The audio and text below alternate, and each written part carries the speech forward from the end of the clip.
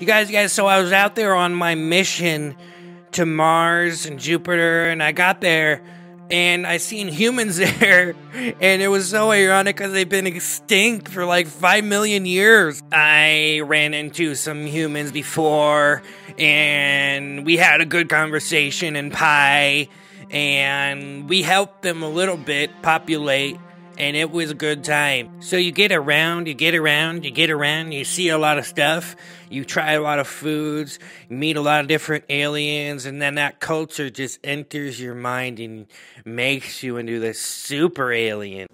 I go hang out all over the place. I go find things that are interesting. And, you know, I found this guy who gave me a lot of minerals, a lot of space minerals. It was such a good time. I know, I know, I know. It gets crazy out there, man. Sometimes you don't know what you're in for. You get robbed by pirates, or you know, you, you run into like some massive group of female aliens, and they want to do things with you, and you, you know, you have to invest that time in. Invest it.